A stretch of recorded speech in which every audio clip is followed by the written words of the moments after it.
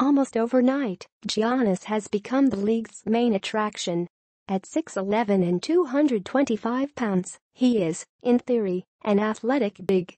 But this reference point is totally antiquated, as Antetokounmpo is the first player of this magnitude to have his game defined by length. He scarcely touches the ground as he rockets down the floor, a racing distance with a stride that allows him to get from the free throw line to the cup with one dribble. Giannis's absurd reach means he is pretty much already inside the basket from the instant he touches the ball. His body control is up there with the best finishers in the league. And when he rises up for a dunk or block, he's reaching heights that previously would have been unimaginable, allowing him to totally dominate, influence, and shape possessions at both ends of the court. As a physical specimen, Giannis is fast entering LeBron, Shaq, or Wilt territory. That he's also a skilled passer and ball handler makes it downright unfair. Watching Giannis is at once visceral and eerie, immediate and futuristic.